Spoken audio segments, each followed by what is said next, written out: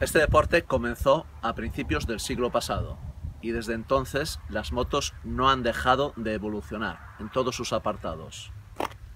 Suspensiones, chasis, neumáticos, motor y mandos.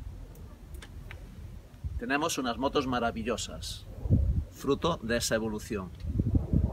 Pero si quieres saber si el pilotaje si el estilo de pilotaje ha cambiado tanto como las motos, no te pierdas este vídeo. Te dejamos toda la información sobre ese cambio a lo largo de la historia de este deporte. Comenzamos nuestra particular galería de imágenes del pilotaje con el que para muchos fue el mejor piloto de la historia. Con nueve títulos mundiales, el inglés Mike Highball, un piloto capaz de ganar con motos de todas las cilindradas y sin duda uno de los grandes genios de este deporte. La fotografía es fantástica y nos permite ver la simetría del cuerpo de Highball sobre la moto. Su columna vertebral está un poco arqueada, pero su trasero está en el centro del asiento y su cabeza busca la verticalidad y mira hacia la salida de la curva. El estilo de pilotaje, hasta bien entrado los años 70, era muy estático y los movimientos del cuerpo del piloto se limitaban a levantar el tronco y abrir las piernas para romper la aerodinámica y ayudar a la moto a frenar al llegar las curvas. Pero en el año 77 llega un piloto americano al Mundial, que pone patas arriba el pilotaje con un nuevo truco.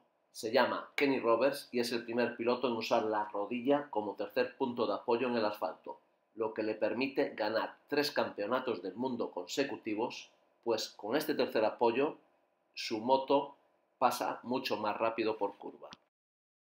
Rápidamente todos los pilotos aprenden el nuevo truco, que básicamente consistía en sacar el culo y abrir la rodilla interior para que ésta rozara en el suelo, en la foto podemos ver a otro de los grandes, el inglés Barry Sheen, imitando a la perfección el estilo de Kenny Roberts.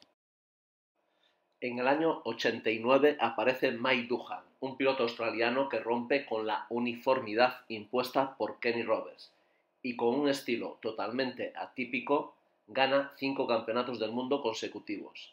En la foto podemos ver cómo su cuerpo rota sobre su esternón y su columna vertebral forma una X muy pronunciada con el eje de la moto.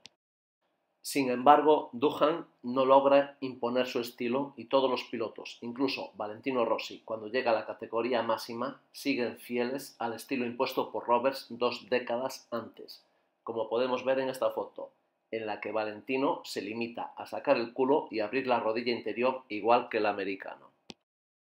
Pero en el año 2006 llegan dos pilotos jóvenes que pilotan con un nuevo estilo. Se trata del australiano Casey Stoner y del español Dani Pedrosa, que metiendo el peso de su cuerpo hacia el interior y agachándolo al máximo, consiguen una mayor velocidad de paso por curva y rápidamente comienzan a ganar carreras.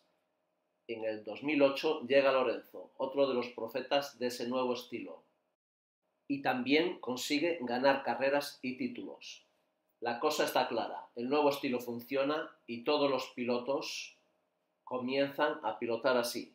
Incluso Valentino Rossi, que toma buena nota y se convierte en el piloto que más lejos lleva esa nueva manera de tomar las curvas, lo que le permite volver a ser competitivo y ganar carreras. En el 2013 irrumpe en MotoGP Mar Márquez, ganando el título en el año de su debut y como no puede ser de otra manera, también pilota con el nuevo estilo. Esta nueva manera de pilotar se ha impuesto al igual que sucediera en los años 80 con el estilo de Kenny Roberts. Y hoy en día todos los pilotos rápidos pilotan así, hasta que llegue algún piloto con un nuevo estilo y gane títulos mundiales.